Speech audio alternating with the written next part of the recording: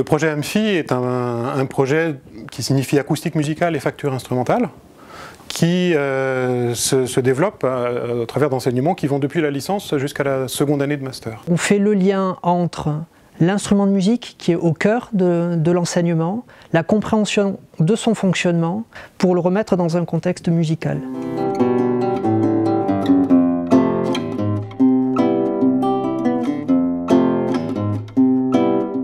On a deux fils conducteurs hein, dans, ce, projet, qui sont d'une part l'innovation pédagogique, on met l'étudiant au centre du dispositif, et puis euh, le deuxième euh, fil conducteur qui est très fort pour nous, c'est les instruments de musique. La spécificité euh, de, de, notre, de notre cours acoustique et lutherie, ça a été de renverser le paradigme pédagogique. Le rôle de l'enseignant est, difficile puisqu'il faut qu'il change un petit peu de métier. Il n'est plus enseignant.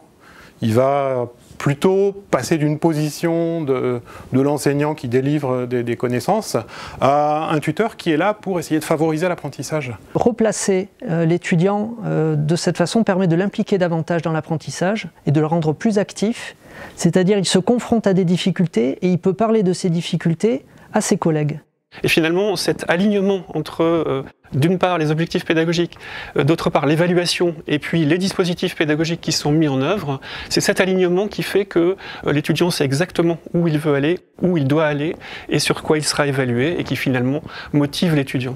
Et cette compréhension se passe mieux quand elle se fait en groupe que lorsque on est seul devant devant ces sujets. Lorsqu'on a mis cette, euh, cette mécanique en marche avec les étudiants, on arrive à établir une forme de relation de confiance avec eux. Les objectifs d'apprentissage, ce sont des, euh, des buts, des savoir-faire, des compétences que l'on doit maîtriser à la fin du module. Alors je pense que, que, cette méthode est très, très bien pour développer justement l'autonomie et, euh, et, la curiosité, l'envie de, de, rechercher et d'en apprendre plus sur un sujet. C'est surtout apprendre à travailler en groupe et à communiquer pour un problème. Au sein donc de, l'ensemble de la, séquence d'enseignement, il y a aussi des séquences d'auto-évaluation des étudiants, de leurs apprentissages. Et euh, lors de ces auto-évaluations, on demande à l'étudiant d'évaluer euh, ce qu'il connaissait avant euh, et après la séquence d'enseignement. Traditionnellement, les facteurs de progression sont de l'ordre de 30% à peu près, et là on atteint des, facteurs qui dépassent les 60%, donc on peut considérer que l'enseignement est efficace.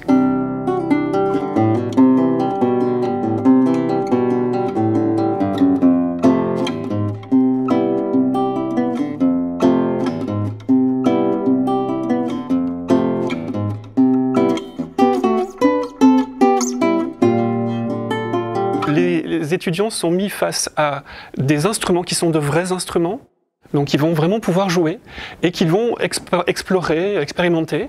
Alors la place des instruments de musique, euh, c'est notre sujet d'étude, c'est-à-dire qu'on va directement s'intéresser à leur comportement, à comment on peut les modéliser, comment on peut les optimiser. Les guitares ont été conçues par le luthier Jean-Marie Fouilleul, qui nous a conçu des guitares spécifiques qui peuvent être euh, démontées sur certaines parties, dans une certaine mesure évidemment. Le cahier des charges, en gros, c'était fabriquer un instrument qui soit modulable, euh, qui permette à des, gens qui n'ont aucune expérience euh, en lutherie euh, ou en acoustique, leur permettre de, de, faire des expérimentations sur tous les paramètres que le luthier rencontre tous les jours dans, dans, l'atelier.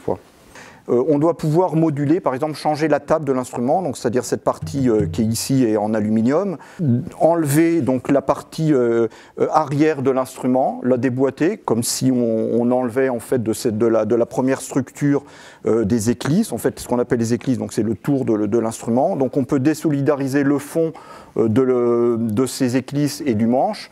Ça nous permet donc de changer la table. Euh, et d'expérimenter différents types de matériaux euh, sur, sur la table. Donc de voir comment euh, ça résonne en termes d'amortissement, de timbre, de rigidité aussi, parce qu'évidemment la table va, va, être plus ou moins souple suivant le matériau qu'on va, qu'on va mettre. À la fin de cette unité d'enseignement, on a pu rencontrer le luthier Jean-Marie Fouilleul qui nous a avait créé nos, guitares. Et c'était très intéressant de, pouvoir euh, discuter avec lui des conclusions auxquelles on était arrivé, des, guitares auxquelles on était arrivé, euh, qui, étaient très différentes euh, de, nous avec nos connaissances, et lui, ce qu'il expérimente chaque jour dans son atelier.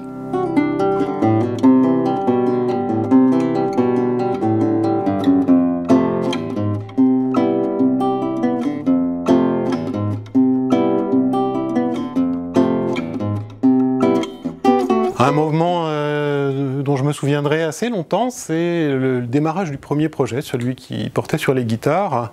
On a expliqué aux étudiants euh, ce qu'il fallait faire et on avait fait une petite mise en scène dans laquelle ils ne voyaient pas les guitares. Donc au bout d'un moment, on a laissé venir un peu la question. Ils nous ont demandé, mais alors on va vraiment travailler sur des guitares? Quand on a sorti les guitares, on a effectivement vu les yeux un petit peu magiques. Le projet en fait euh, Amphi, c'est un projet qui est euh, une incitation euh, à l'innovation pédagogique et ça, ça donne envie, ça donne vraiment envie aux étudiants d'aller un peu plus loin. Et en particulier, donc on a, on a, pu constater que ça a donné l'envie à deux étudiants de faire des stages dans un atelier de lutherie l'été prochain. J'ai ce goût pour la recherche qui s'est développé pendant toute ma formation et ça me pousse à continuer encore dans l'acoustique instrumentale et à poursuivre là-dedans. Alors dans l'avenir, euh, j'aimerais, euh, si possible, euh, intégrer la formation supérieure des métiers du son du Conservatoire de Paris. Après la double licence, j'hésite encore entre plusieurs formations, donc soit l'astrophysique, soit le master ATIAM à la faculté des sciences de la Sorbonne.